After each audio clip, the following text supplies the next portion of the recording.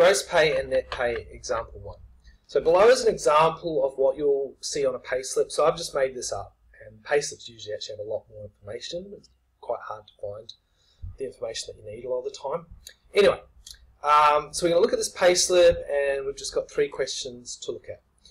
So, um, what is the gross pay? Now, you'll actually notice two columns. We've got what's called this pay and year to date. We'll just focus on this pay, and, and I'll explain what the year to year to date part's all about a bit later. Having a bit of trouble with my pen again. There we go. So, focusing on this pay only.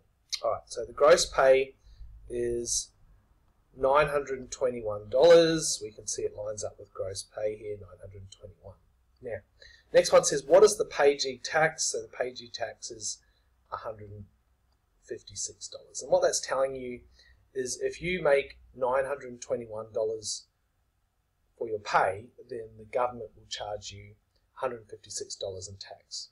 Okay, um, This is just an estimate of what it would be. Then question C says to calculate the net pay, and that just means fill in the blank here. And the net pay is calculated by taking the gross pay and taking away all the deductions. So we're going to go 921 minus 156 minus the tax, we're going to minus the superannuation for 98, and we're going to minus the HECS debt for 21. So let's work that out. 921 minus 156 minus 98 minus 21 is $646. So what that tells us is that even though this person has a gross pay of $921, only $646 would go in the bank. Now, I'll talk a little bit about the year to date. Basically, a financial year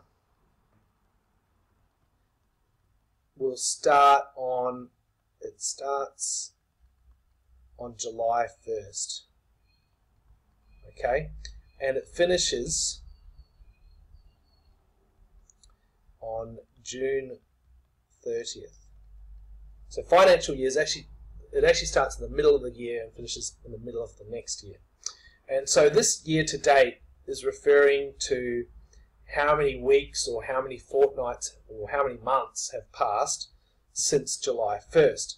And you'll notice if you go across here the year-to-date total is actually three times as much for each of these. If you work that out, if you times this by three, you'll find that that's where the year-to-date comes from.